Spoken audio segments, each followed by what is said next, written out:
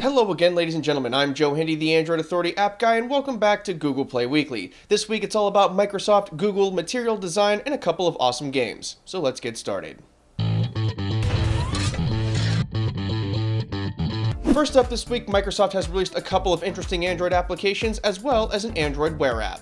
These are all thanks to an initiative at Microsoft called the Garage Project, which is essentially random Microsoft employees getting together to do fun things. The first application is called Journey in Notes, and it's essentially a simplistic travel log. The other is called Next Lock Screen, and it's kind of like Microsoft's take on Dash Clock. The Android Wear application is called Torque, and it lets you access Cortana with a flick of the wrist. They're all free in the Google Play Store, and frankly, kudos to Microsoft for doing something a little bit different. While we're on the topic of Microsoft, they just opened up their Office 365 Cloud APIs for developers to use on Android. What this means is that developers can now use these APIs to integrate their applications with Microsoft Office 365 Cloud. One example is the popular IFTTT application which will be able to use Office 365 events as triggers to do other things. We know most of you use Google Drive and will likely scoff at this a little bit, and that's fine, but personally I'm stoked that Microsoft is taking Android more seriously and that Google Drive is finally getting some real competition. So Google finally released that bookmark application that was teased repeatedly over the summer. Back then it was called Google Stars, but its final name is called Bookmark Manager. It features large graphics, some advanced organization features, and it's definitely something different than the classic bookmark style. It's free in the Chrome App Store right now if you want to give it a shot, but be warned, it is really busy, so if you're like me and never really organized your bookmarks before, you're in for a bit of a shock. While we're on the topic of Google, they just made it really easy for developers to integrate the OK Google hot word into their applications. Okay, so here's what this means. Google has made it ridiculously easy for application developers to integrate OK Google into their application, literally like half a dozen lines of code. This doesn't mean much for consumers right now, but down the road, a lot more applications are going to have OK Google integrated to their application, and that's pretty exciting. In our last bit of news this week, a whole bunch of Google applications got material design updates.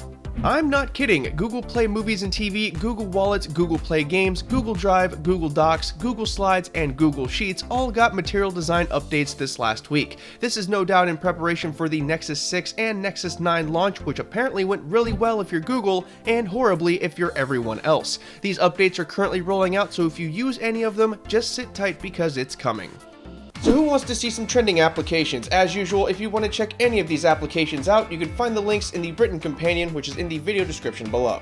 First up this week is Republique. It's a stealth action game that comes with amazing graphics, a dark and entertaining storyline, and three episodes of content to play through, with more planned in the future. It uses the Walking Dead style where it adds content to the game in the form of episodes, and you have to buy them as in-app purchases. So far it's garnered positive reviews, and $2.99 really isn't that bad.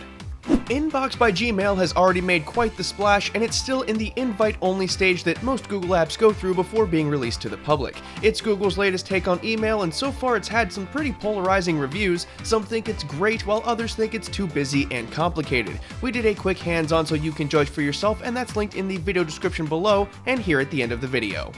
ES File Manager now has Chromecast support, but you'll have to download this plugin in order to do it. It is free in the Google Play Store and it does essentially what it says it does. Once you download and install the plugin, you'll have the Chromecast option in the actual ES File Explorer app and you can cast photos and videos. If you use ES File Explorer, you should also have this.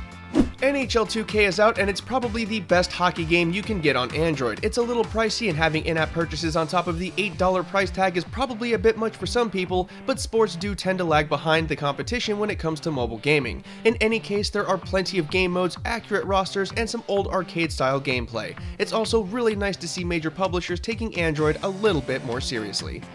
Last up this week is djay, which is a very, very popular DJ application over on iOS that's finally made its Android debut. It has a lot of features that allow you to alter and mix songs at your leisure, and it comes with Spotify integration. It seems to be generally well liked, but there are more hardcore users who seem to wish it had more features. In any case, $2.99 isn't that much, and it does look like a lot of fun.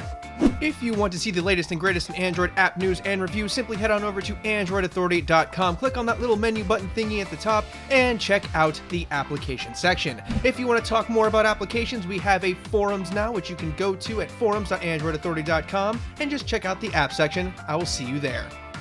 Once again, I'm Joe Hindy, the Android Authority app guy. While you're here, why not subscribe to the Android Authority YouTube channel? If you're hanging out for a minute, we have a couple of awesome videos for you to watch right over there and linked in the video description below for you folks on mobile. Finally, don't forget to check out the written companion, which is in the video description below because that's where you're going to find all of the download links. As always, thanks for watching everybody and have a wonderful day.